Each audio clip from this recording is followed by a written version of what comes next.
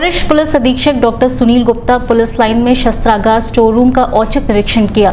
SSP ने कहा कि शस्त्रागार स्टोर का रखरखाव दुरुस्त पाया गया क्योंकि बिना सूचना दिए ही शस्त्रागार का निरीक्षण किया गया था। रिक्रूट ट्रेनिंग सेंटर यहाँ स्थित है। यहीं से रिक्रूट ट्रेनिंग आरक्षी को प्रतिदिन शस्त्र उपलब्ध कराया जाता है। उस लिहाज से रखरखाव दुरुस्त पाया गया।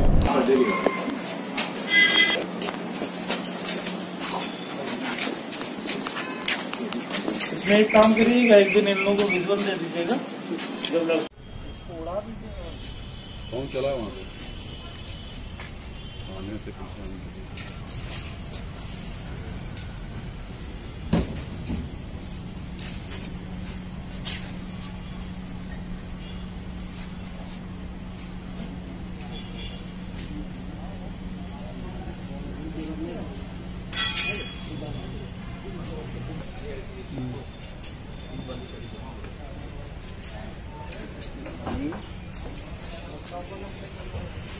इस औचक निरीक्षण के बारे में मीडिया कर्मियों से बात करते हुए एसएसपी डॉक्टर सुनील गुप्ता ने कहा।